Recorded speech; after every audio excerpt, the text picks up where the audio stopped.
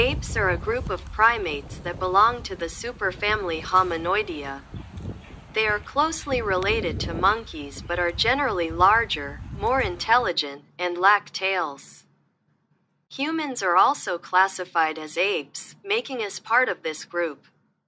Types of apes Apes are divided into two main groups. Lesser apes, family Hylobatidae, includes gibbons. Found mainly in Southeast Asia.